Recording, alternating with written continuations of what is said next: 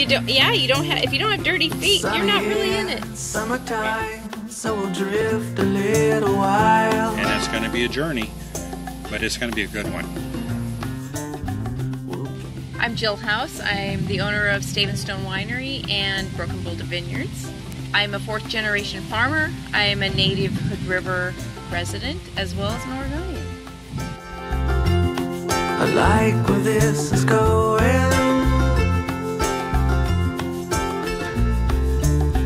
There's a lot of potential here, and so part of the the voyage here is going to be discovering how do we accentuate and continue to differentiate the different blocks here because it's not going to be one contiguous Pinot. We've got this character, this character, and this character. Oh, you meant impossible to find. Got it. Listen, mister. Listen, mister. You got dirty feet. Almost as long as I've been alive. Don't stop believing. It is. Okay. Oh my heavens. oh boy. Growing wonderful Pinot Noir For sure. and putting your feet in it. Uh, and putting your feet in it. Thank you. Yeah, thank you.